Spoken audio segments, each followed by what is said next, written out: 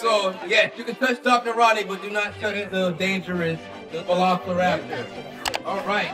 So the Velociraptor has 60 teeth in total, 30 on the top, and 30 on the bottom. And the back of her teeth are serrated like steak knives, built to rip flesh apart. And also, velociraptors are pack animals. You guys also know what's a pack animal?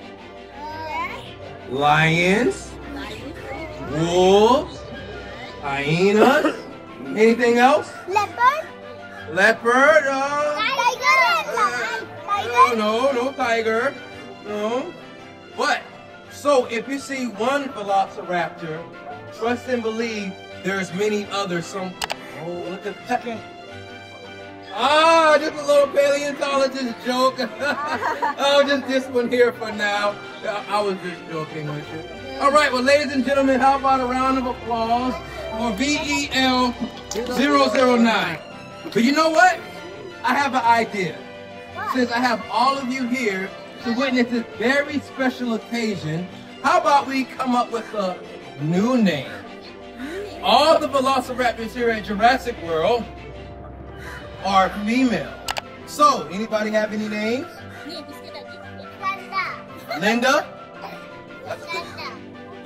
Say it again. Iskandar. Okay, you have. A name. Can you spell that one?